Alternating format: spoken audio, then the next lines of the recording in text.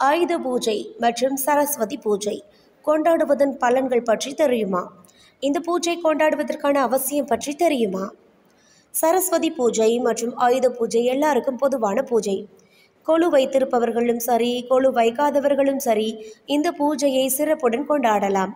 இந்த பூஜை முப்பெரும் தேவியரான லக்ஷ்மி துர்கா சரஸ்வதி இந்த தெய்வங்களை வணங்குவதற்கான சிறப்பு பூஜை. இந்த பண்டிகையை அனைவரும் தங்கள் வீடுகளிலும் தொழில் செய்யும் இடங்களிலும் கொண்டாடி மகிழ்கின்றனர்.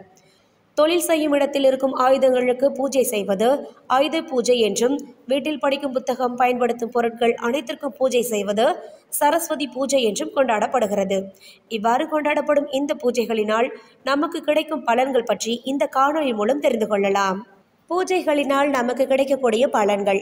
ஒரு மனிதனின் உடல் வளர்ச்சிக்கு வலிமையும் வளமான வாழ்க்கைக்கு செல்வமும் கல்வியும் ரொம்பவே அவசியம். அவ்வாறு உடல் வலிமையை வெளிப்படுத்தும் சக்தியாக துர்கா தேவியையும் வாழ்க்கைக்கு தேவையான செல்வ வள்ளத்தை நல்கக்கூடியவராக ஸ்ரீ மகாலட்சுமி அம்மையாரையும் அறிவையும் ஆற்றலையும் தரக்கூடிய கல்வியின் தேவதையாக சரஸ்வதி தேவியையும் வழிபட்டு அந்த தேவியரின் அருளை பெற்று வலிமை செல்வம் கல்வி ஆகிய மூன்றினையும் பெறுவதற்காக கொண்டாடப்படும் தினம்தான் நவராத்திரி.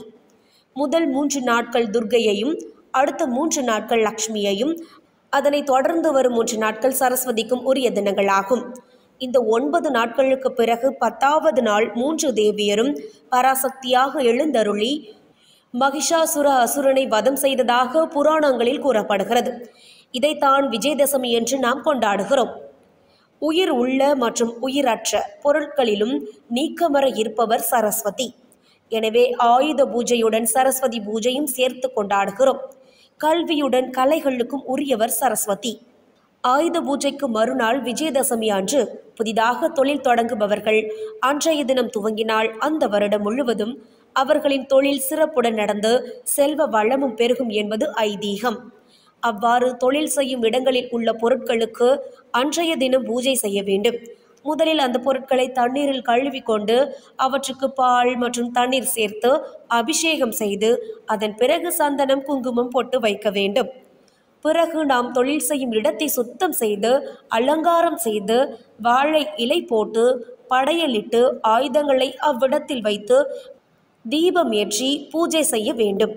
நாம் தொழில் செய்யும் இடத்தில் பணிபுரியும் தொழிலாளர்களுக்கும் அன்றைய தினம் நம்மால் முடிந்த சலுகைகளை செய்ய வேண்டும்.